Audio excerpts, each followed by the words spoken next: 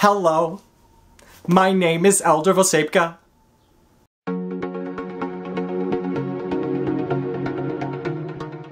Hey guys, I just got home from a job interview, so that's why I look so nice. But anyways, I try hard. Um, welcome to Why So Queerious. It's so nice to see you on Friday. I wanted to talk today about something that is coming up this weekend. So, this Sunday is May 22nd, and uh, that's a pretty big day. Why, you may be asking? Well, that day is Harvey Milk Day. Now, you may be asking who is Harvey Milk or what is Harvey Milk because, I mean, how could that be a name? It is a name, it's a person. Um, it's actually a very significant person in LGBTQ history. Harvey Milk. Who was he? He is one of the most prominent names in LGBTQ history. So, why is that? He was one of the first ever openly gay men elected into public office in California. What office he was in was the San Francisco Board of Supervisors. He was elected into this position in 1977. He served in this office for 11 months until his assassination on November 27th in 1978. Not only was he assassinated on that day, so was the mayor of San Francisco, Mayor Moscone. He was assassinated by a member of the same board that he was on, Dan White. This was a really big thing that happened. Conflicting ideas between him and Harvey Milk and, and of the offices and of the changing city um, pushed him to assassinate Harvey Milk and Mayor Moscone. Harvey Milk was a huge civil rights leader, even if he didn't call himself that. He was a visionary. He had this world in his head of a better place for everyone. He actually set out to create that better world. His life and his potential was really cut short by his murder.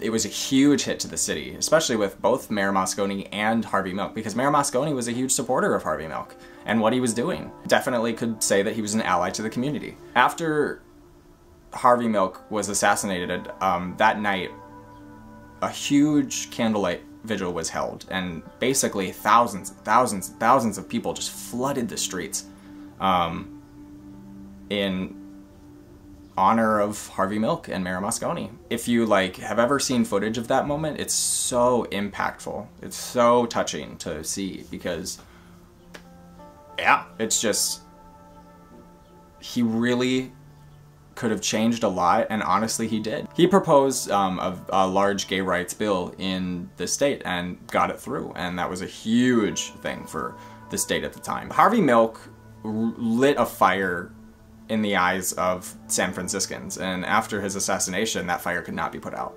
Um, everything that he stood for and everything that he wanted to accomplish was really put at the front of the gates for everybody in that city, and it pushed the gay rights movement very much forward into action. His will that he had recorded much before his death, but he actually recorded a will in light of his assassination that was so inspirational. And I'm actually going to post a video down in the links below of that, of his last words um, on audio, and go watch that video because it's it's so inspirational and you'll kind of get a feel of who he is. But um, yeah, I, I'll also post other links down below of like his candlelight vigil and of um,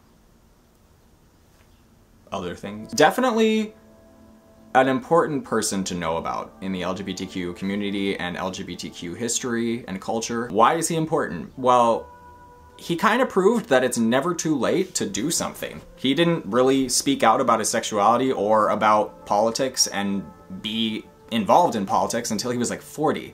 So all of you people that think us young youngins are the only ones that can do stuff and make things happen, you are wrong because anybody can make a difference and anybody can do something if they believe in it. He was also such a proponent of hope and just being hopeful for a better future, but moving towards that better future, not just waiting for it to happen. His come out, come out wherever you are campaign slogan basically um, was encouraging people that in order for change to happen, we have to come out. We are your brothers, your sisters, your mothers, fathers, cousins, co-workers, teachers, bosses. And people need to know that, that LGBTQIA people are everywhere and that people need to realize that in order to realize that we're just like you. We're just like everybody else. He was very theatrical and and and outlandish in ways, and uh, that eventually got him the support that he needed to be elected into office, and he did a lot in 11 months. So, I mean, I just want you guys to know about him. This Sunday, May 22nd, is his birthday, and also Harvey Milk Day. There's a movie called Milk that has Sean Penn playing um, Harvey Milk, and it's very well done. It does a good job of capturing his career, you could say. Um, and I would definitely go check out that, definitely check out the links below, and I really hope that you guys enjoyed this video. Click the like button down below if you did like this video.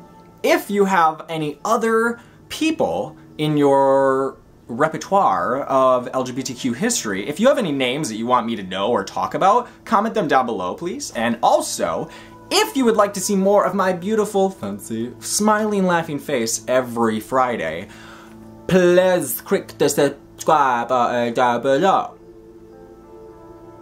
Subscribe, yeah. Uh, uh. All right, you guys, I love you so much, and have a great rest of the weekend, okay? Bye!